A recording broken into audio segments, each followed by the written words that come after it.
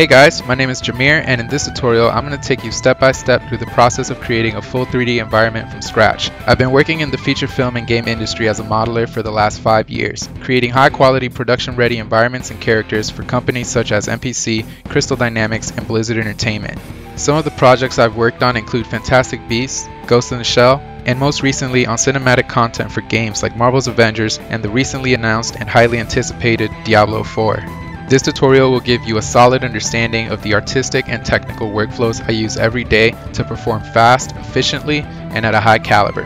I will show you my process for high-res sculpting, production modeling, UVs, managing multiple assets, texturing, scene assembly, lighting, and talking about best practices commonly expected and used at professional studios to ensure you are learning the art side of things as well as gaining the knowledge needed to perform everyday technical tasks. Some examples of topics covered include UDIM workflows and how to properly give your assets great UVs without compromising speed or efficiency. We will talk about asset reusability, kit bashing, and learn about modern workflows for scattering, randomizing, and populating your assets throughout your environments. And finally, we will look at creating atmospheric effects and lighting to give your 3D pieces more depth and believability. We'll then composite our pre-rendered elements in Photoshop to create a more dynamic final result. By the end of the tutorial, you will have a better understanding of the entire CG creation process, as well as gain the knowledge and skills to push your personal and professional art to the next level. I'm looking forward to sharing my process and techniques with you for creating fully realized 3D art, so let's get started.